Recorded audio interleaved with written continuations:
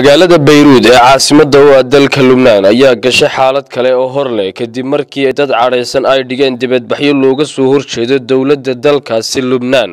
Mas'uuliyiinta dowladda ayaa lagu eedeeyey in aysan si wanaagsan u maaraynin musiibadii dhacday waxaa waddooyinka waaweyn ee magaalada oo ay ka mid yihiin kuwa gala dhismaha baarlamaanka la dhigay ciidamo kuwaasi oo sunta dadka ka ilmaysiisa ku kaleeriyey dadka ka cadhaysan ficilada dowladda.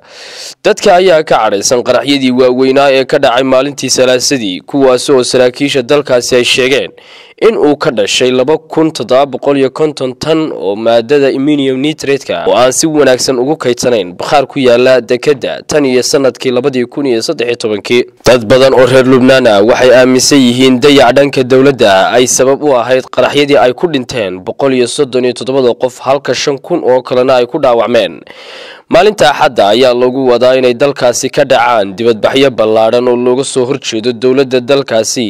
Waxaase aan la ogeyn sida dibadbaxyadani ay uga sii dari karaan xaaladaha lubnaan oo haatan la daalaa dhacaysa. Waxyeeladii qaraxyadii dhacay dhibaatooyin dhaqaale iyo saameynta fayraska corona. Qaraxyadii dhacay ayaa burburiyey guryo badan oo ku yaalla caasimadda waxaana ku gurya beelay dad lagu qiyaasay laba boqol iyo konton kun oo qof dad badan ayaa weli lalayahay kuwaasi oo qaar ka mid ah la aaminsan yahay inay ku hoos xaniban yihiin dhismayaashii burburay. Wakaaladda wararka ee dowladdaasi ayaa sheegtay in musiibadii dhacday loo xidhay lix iyo toban qof qaybna ay ka tahay baadhitaan ay bilowday dowladdu tan iyo markii ay dhacday musiibadaasi waxaa xilka iska casilay laba sarkaal iyo sidoo kale safiirkii lubnaan u fadhiyey urdun ayaa iska casilay xilkii ay hayeen.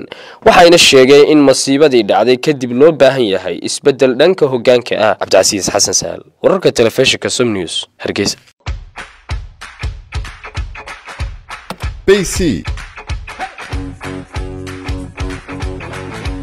shirkadda telesom waxay macaamiisheeda dalka dibaddiisa joogta ugu bushaaraynaysaa in iyagoo gurigooga jooga lacag u diri karaan eheladooda iyo asxaabtooda. Abka bay c waxaad si fudud lacag ugu diri kartaa adigoo gurigaaga jooga. Loodiruhuna wuxuu ku helayaa saad ama akawntkiisa daarasalaam bank haddaba si aad u isticmaasho abka bay c waxaad kala soo degi kartaa moobilkaaga. Bay c si fudud lacag ugu dir adigoo gurigaaga jooga